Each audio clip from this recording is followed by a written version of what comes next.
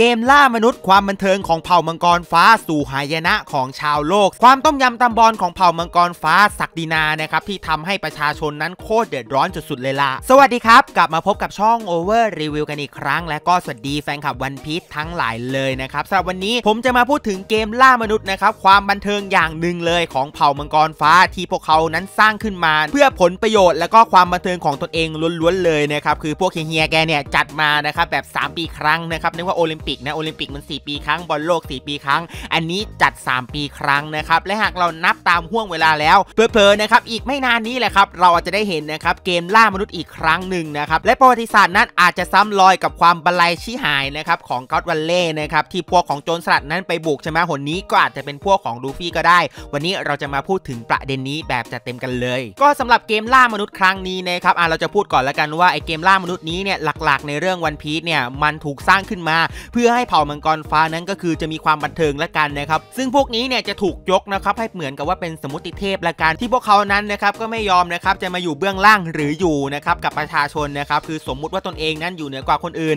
จึงทำให้พวกเขานั้นนะครับคิดว่าการที่พวกเขาเนี่ยสปีลงมาครั้งหนึ่งนะครับเพื่อมาหาประชาชน เป็นสิ่งที่พวกเขานั้นประทานสิ่งดีๆ ให้กับประชาชนแล้วเป็นความเมตตาของพวกเขาแล้ว แต่ท้ายที่สุดแล้วนะครับพวกเขาเนี่ยก็คือทำเกมขึ้นมาก็คือเกมล่ามนุษย์ ซึ่งเกมนี้เนี่ยมันก็มีประโยชน์แอบแฝงนั่นแหละครับเพราะว่าพวกเขานั้นเลือกเกาะนะครับหรืออาณาจักรที่ไม่ได้อยู่ภายใต้การปกครองของฝั่งรัฐบาลโลกนะครับถ้ายกตัวอย่างง่ายๆอะที่เคยยกไปก่อนหน้านี้อย่างเช่นวาโนะอันเนี้ยก็ไม่ได้อยู่ภายใต้การปกครองของฝั่งรัฐบาลโลกเก็โฮเคของบิ๊กมัมอันนี้ก็ไม่ได้อยู่ภายใต้การปกครองของฝั่งรัฐบาลโลก คือพวกเขาเนี่ยเลือกแล้วเกาะไหนที่ไม่อยู่ภายใต้การปกครองของตนเองก็เลือกไปที่เกาะนั้น แล้วก็ไปทำลายนะครับกวาดล้างนะครับผู้คนของเกาะเกาะนั้นในท้ายสุดก็ยึดเกาะนั้นไปนะครับซึ่งเอาจริงแล้วเนี่ยอาจารย์โอดาแกก็ค่อนข้างอ้างอิงนะครับจากประวัติศาสตร์ของโลกเหมือนกัน เพราะว่าเนี่ยถ้าย้อนกลับไปในยุคสมัยก่อนนะครับมันเป็นค่านิยมละกันนะครับของกษัตริย์นะครับในหลาย ๆ อาณาจักรในหลาย ๆ ประเทศ สมัยก่อนมันจะมีการล่าสัตว์อย่างเงี้ยเพื่อเสริมบารมีการล่าช้าง หรือแถบยุโรปหน่อยก็จะมีการยิงนงยิงนกนะครับซึ่งจะให้กษัตริย์เนี่ยเป็นคนยิงเองนะครับถามว่าทำไมก็เหมือนเป็นการโชว์แสงยานุภาพนั่นแหละ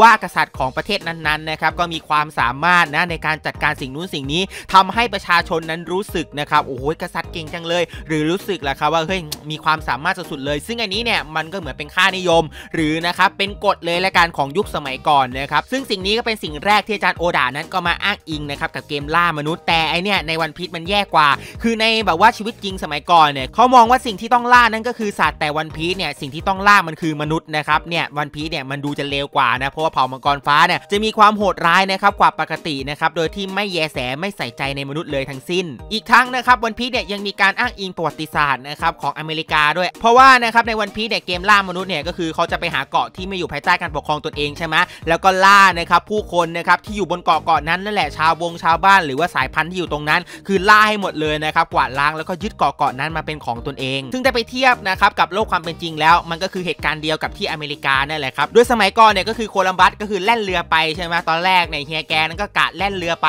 นะครับที่ประเทศอินเดียในสมัยนู้นนะแต่ว่าต้องการทางใหม่นะครับก็คือไปเส้นทางเนี่ยที่แบบว่าผิดแปลกไปจากชาวบ้านเขาก็เลยมุ่งตรงไปอีกทางหนึ่งนะครับเพราะว่าหลีกเลี่ยงและการเจ้าอาณานิคมเก่า แล้วก็คิดว่าถ้าไปทางนี้เนี่ยอาจเผลอๆอาจจะเร็วกว่าก็ได้ แล้วก็เฮียแกก็เลยไปผิดทิศผิดทางนะครับและในท้ายที่สุดก็ไปบังเอิญนะครับเจอทวีปอเมริกาขึ้นนะครับซึ่งในตอนนั้นทวีปอเมริกาเนี่ยก็จะมีชนเผ่าอินเดียแดงแล้วกันนะครับที่อยู่ของเขาเนี่ยดั้งเดิมอยู่แล้วและในท้ายที่สุดนะครับสมัยนั้นมันยังเป็นล่าอาณานิคมอยู่นะ ไม่ว่าจะเป็นประเทศอังกฤษสเปนนะครับอ่าฝรั่งเศสอะไรต่างๆ มากมาย ก็เลยนะครับไปยึดดินแดนตรงนั้นนะครับในท้ายที่สุดก็กวาดล้างนะครับพยายามจะฆ่าผู้คนหรืออะไรก็แล้วแต่ชาวอินเดียแดงให้หมดไปนะครับจากอเมริกานะครับและท้ายที่สุดนะครับพวกเขาเนี่ยก็ยึดสถานที่ตรงนั้น มาเป็นสถานที่ของตนเอง และก่อกำเนิดนะครับเป็นประเทศอเมริกาที่เราเห็นอยู่ในปัจจุบันนี้ อันนี้เนี่ยก็เป็นสิ่งหนึ่งที่อาจารย์โอดานั้นอ้างอิงมาแหละครับว่าเผ่ามังกรฟ้าเนี่ยก็คือจะไปยึดที่ที่นั้นใช่ไหมแล้วก็กวาดล้างผู้คนแล้วก็ยึดนะครับทรัพยากรตต่างๆ บ้านเมืองต่างๆ มาเป็นของตนเองในอาณาจักรนั้นๆ ซึ่งแน่นอนก็เห็นได้ชัดเลยแหละครับว่าอาจารย์โอดานั้นเนี่ยแกก็ค่อนข้างนะครับอ้างอิงกับประวัติศาสตร์โลกค่อนข้างเยอะเลยนะครับสำหรับเรื่องราวตรงนี้อ่ะจุดนี้ก็เป็นจุดที่น่าสนใจ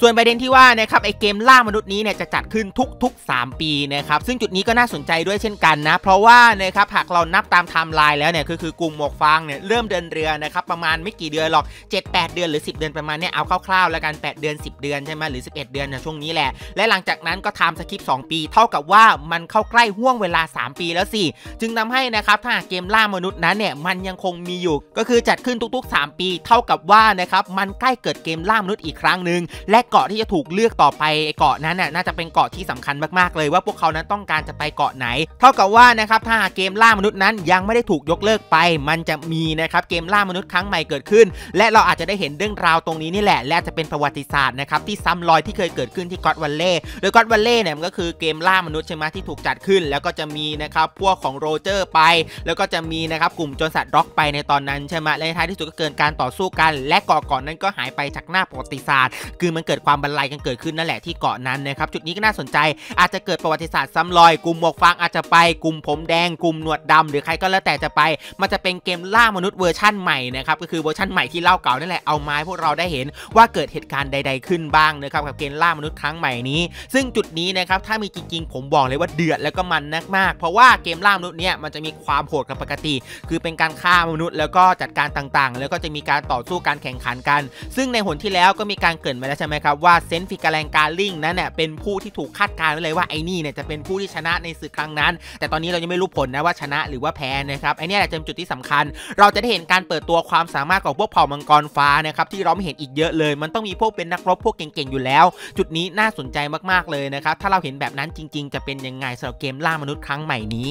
ซึ่งจริงๆแล้วเกมล่ามนุษย์นี้เนี่ยมันก็ค่อนข้างเข้าธีมแล้วกันนะครับที่กลุ่มหมวกฟางนั้นเนี่ยควรจะไปอย่างยิ่ง เพราะว่ามีการเกริ่นไว้แล้วใช่ไหมล่ะครับว่าลูฟี่นั้นเป็นเทพนิกานิกานั้นเป็นตำนานของพวกเหล่านักโทษ ว่านิกานั้นจะมาปลดปล่อยนะครับและไอเกมล่ามนุษย์นี้มันจะมีการเอาทาสนะครับพวกที่แหกคอกนะครับพวกที่เผ่ามังกรฟ้าคิดว่าไอพวกนี้เนี่ยต้องกำจัดทิ้งเนี่ยเอามาลงด้วย เท่ากับว่าถ้าลูฟี่ไปต่อสู้ในเกมล่ามนุษย์นี้ หรือไปมีส่วนร่วมแล้วแล้วก็มันจะสำคัญมากๆนะครับเพราะนี่แหละก็คือเทพเป็นการปลดปล่อยนะครับที่มาปลดปล่อยนะครับมนุษย์นะครับปลดปล่อยธาตุต่างๆ ซึ่งอย่างนั้นจริงๆนะครับเอออันนี้ก็น่าสนใจเหมือนกันนะสำหรับเกมล่ามนุษย์ครั้งนี้ส่วนที่ว่าจะเกิดขึ้นที่เกาะไหน ซึ่งด้วยส่วนตัวนะครับโหมันก็คิดยากเหมือนกันนะว่าจะเกาะไหนนะครับจะเอลบาร์มาแต่นะครับเอลบาร์เนี่ยเป็นเกาะที่มีเหล่าคนยักษ์นะครับและเหล่าคนยักษ์พวกเนี้ยโหดมากๆเลยนะครับผมว่ามันจะยากเกินไปหรือเปล่าที่เผ่ามังกรฟ้านั้น จะไปที่เกาะเอลบาฟคือการจะกวาดล้างนะครับเอลบาฟเนี่ยให้หมดสิ้นไปเนี่ยโอ้โหคนยักษ์ต่างๆ นั้นคงเป็นเรื่องที่ยากมากๆเลย และแน่นอนเผ่ามังกรฟ้านั้น ก็คงอยากจะได้นะครับประโยชน์จากเผ่าคนยักษ์อีกมากมายเลยนะครับก็เลยคิดว่าเอลบาฟน่าจะยาก